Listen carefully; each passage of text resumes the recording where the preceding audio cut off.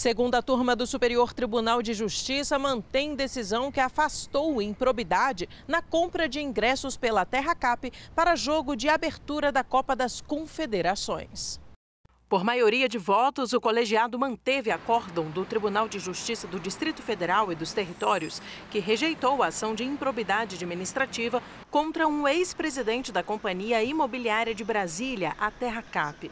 A ação foi ajuizada em razão da compra de ingressos pela empresa pública para o jogo de abertura da Copa das Confederações em 2013, que ocorreu no Estádio Nacional de Brasília. De acordo com o Ministério Público do DF, a Terra Cap gastou quase 3 milhões de de reais para comprar um lote de mil ingressos para a abertura do evento esportivo.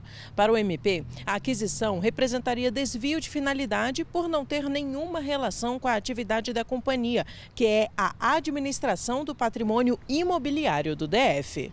No voto que prevaleceu na segunda turma, o ministro Og Fernandes destacou o entendimento do TJDFT, segundo o qual a Terracap, integrante da administração indireta do Distrito Federal, tinha interesse na promoção do estádio, de forma que a compra de ingressos e a distribuição, conforme convênio firmado previamente, não configura o dolo necessário para caracterizar o ato de improbidade.